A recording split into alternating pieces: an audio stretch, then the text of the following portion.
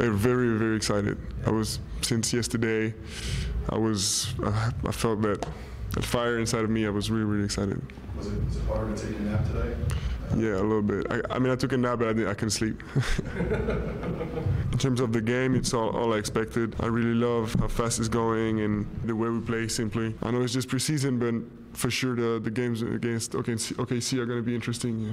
You know, I plan to play on a, play a long time, and I'm sure he does too. So um, there'll be no choice but to, you know, go back and forth and we cannot wait. This is going to be a matchup that we're going to get to see for years to come. But we have waited for this. What was your first impression of seeing both Chet and Victor? Well, again, they're both very similar players. Obviously, what Wembanyama is a little bit different. He's bigger, has a little bit more versatility, in my opinion, but very similar players. But when I look at how are you going to guard them, they're both being guarded by perimeter players. If you watch the start of that game, you see Josh Giddey started on Victor Wembanyama because it's like he doesn't have the size, and so he's on the perimeter. He's in transition, as you see. But the next step for him is becoming a post player. If he can take the smalls into the post and force a double team, we've already heard San Antonio talk about his passing. That's where that next level for him. That's where the strength comes in because he knows he has the size to shoot over guys. You don't want to guard him on the on the perimeter with a big because he's going to be able to have that skill work to go by him. So you got to put a small on him,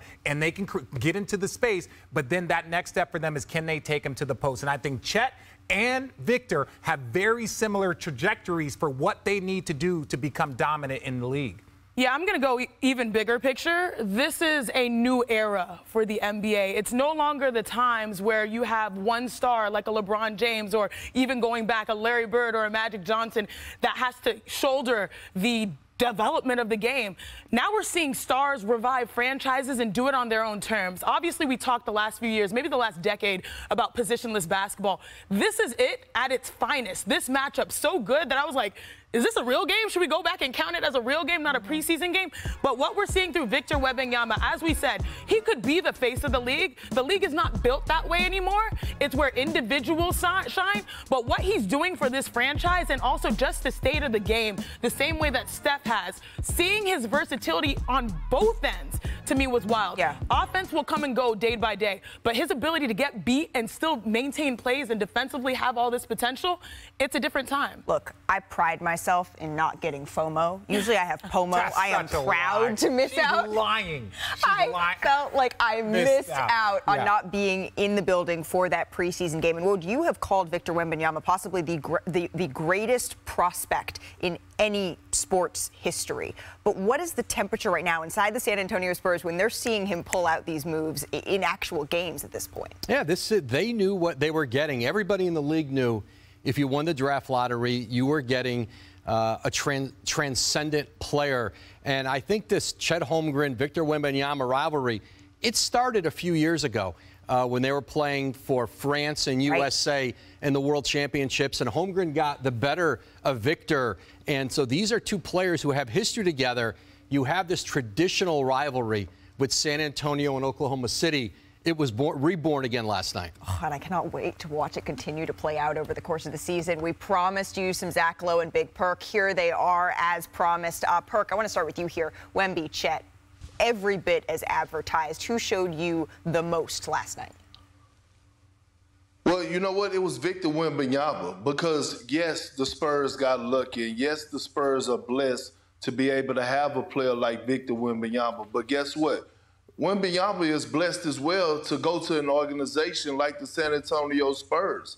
And when he got drafted there right after Summer League, I said he needs to make sure that he spend the entire offseason with the San Antonio Spurs, and he did just that. In Summer League, we saw at times that we were questioning, hey, he needs to put on muscle. He did that. We talked, we looked at him, and sometimes he looked off balance. He didn't look like he didn't look that way yesterday. And so what I see is a guy that is willing to sacrifice at a young age, that is willing to embody and embrace the Spurs coaching and teaching.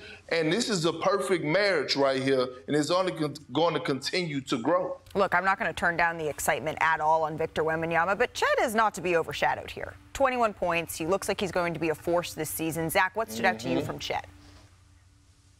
21 points and one great tweet, but Chet, get the emojis out of there. No laughing, no smirking emojis. We need some spice in this rivalry. These teams have had three at least epic playoff series recently 2012, 2014, 2016. Let's bring it back with some spice. But yeah, we'll talk about Wemby later. Chet, he showed off a really diverse offensive game last night. Just a couple of little things to highlight if we go to the tape we've got ready of Chet. This is a simple just look. His handle was so tight in this game.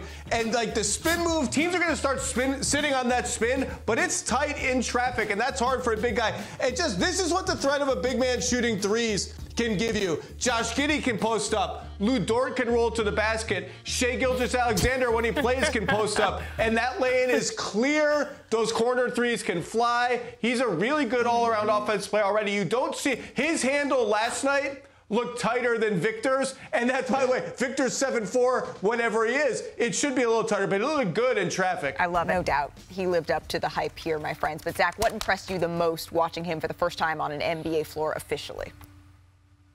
Victor versus Chet, except Chet played center and the Spurs played Victor almost the entire game at power forward, which means he guarded wing players and was guarded by wing players. And RJ mentioned he wanted to see him play a little bully ball in the post. And my favorite thing, if we go to the tape, was that we did get to see him do that against wings. You put Jalen Williams on? Yeah, I'm going to back him down. And here comes Chet Holmgren. And look, the Spurs spacing is all screwed up here. He can make that read. He's a great passer. And when the Spurs get better spacing, he'll do it. Quick seal. Just run right to the post, draw a foul. Yeah, maybe a little ticky tack call, but I love the mentality. And defensively, he again is over in the corner. Can he still impact the game? Yes, indeed. Switch on to Josh Giddey, cut him off. Switch back, cut him off. Go out, Jalen Isaiah Joe's got it. No, I'll just swipe the ball from you. That's a guy who people thought of as a center, and he's not playing center, so he's not at the rim. He's not in the pick and roll, and you think, can he still make an impact defensively? uh, up to his talent? Last night, the answer was yes. He was everywhere. Even when he was on the sideline, it was like he was right in the paint. I think the conversation surrounding Victor Wembanyama, there, there's been no doubt right, guys, that he is the number one pick. The hype has been there. He has backed it up thus far. But the question has been, okay, durability. What's that going to look like when it's not necessarily Chet Holmgren that he's facing? It's Joel Embiid. It's Giannis Antetokounmpo. Did you see any flashes of anything last night, Chiney, that said, you know what? I think he's going to be just fine. Oh, because he's a San Antonio Spur because he has a franchise and organization that looks like they're master planning around him. And I think the question was, as Zach, you know, alluded to, what position will he play? Because a lot of times when you're that big, I know this personally, you think, oh, if I'm playing the five, I'm going to get beat up. I'm going to go against uh, Anthony Davis's, Embiid's, Jokic's. They have a whole system in which he can thrive and also feel free. It's not like you see him banging. He goes to the paint, he gets fouled. Instead, he's free, he's liberated. I mean, it was a behind the back in transition yeah. that led to, to the next offense. So for me, I think the system right here will be his protection and his durability. But there's a difference, right, between playing in Europe, Richard, oh. and playing in the NBA. Yes, Tiago Splitter told me, and we're going to go to the board real quick. Tiago Splitter told me, I was like, hey, Tiago, as a big, what's the difference between the NBA and playing in Europe? He goes, hey, in Europe, point guards can't block your shot. So in Europe, he might have one or two guys that can blow by him. Here, you got Lu Dort, he can't shoot. Better shooter. You don't need to be that close. So he's got to understand the space and the distance of guys. Here, he draws a foul. You got to understand it. He's got the length, he's got the size. A contest in the NBA is good enough. Here, right here, gets cut off. He is dead. The internet is going to kill him. Look at the crossover. What? This man comes back off one step and gets a clean block. Beautiful at the rim. Now, look, their whole bench, if you didn't see it, there was a timeout called right after this, and the whole bench was like, yeah, you see the coaches walk into the huddle and was like, man, I don't, I don't know what we're to do with that. The dude is elite. He has so many skills, but it is very impressive how he's brought it all together. But he's got a lot of learning to do, and there's not one teacher in the NBA as good as Gregg Popovich. So I'm 100% sure he's going to get but everything the one, he needs. The one thing you alluded to, especially with not being so close to Lu Dort, is scouting report. That takes time.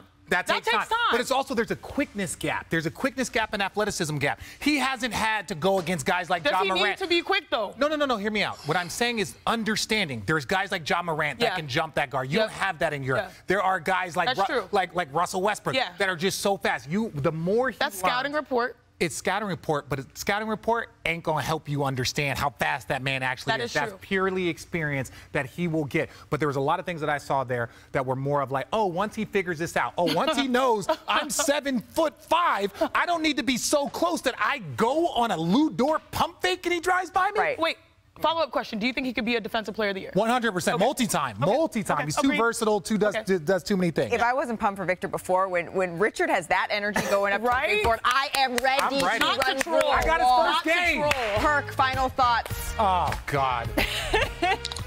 I mean, he's seven three. That doesn't make him a center.